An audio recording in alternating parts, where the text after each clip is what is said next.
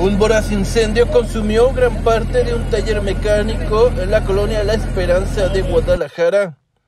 Ubicado sobre la calle Justicia, el cruce con la calle San Ignacio, vecinos del lugar tras observar incandescentes llamas que salían por ventanas y la puerta de acero, reportaron los hechos al 911.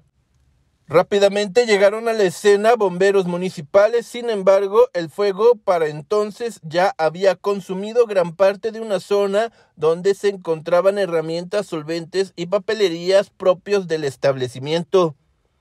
Los también llamados tragahumos tendieron las líneas de agua, pues el fuego continuaba tomando fuerza y las llamas amenazaban con propagarse por todo el lugar y automóviles que se encontraban adentro.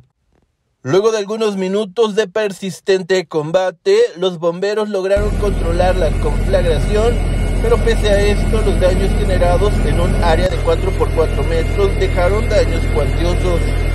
Las causas que originaron el fuego hasta el corte de las 6 de la mañana no fueron aclaradas, no obstante, al lugar de los hechos acudió personal de gestión integral de riesgos para realizar las respectivas indagatorias. Reportó para Guardia Nocturna Alberto Mariscal. Guardia Nocturna.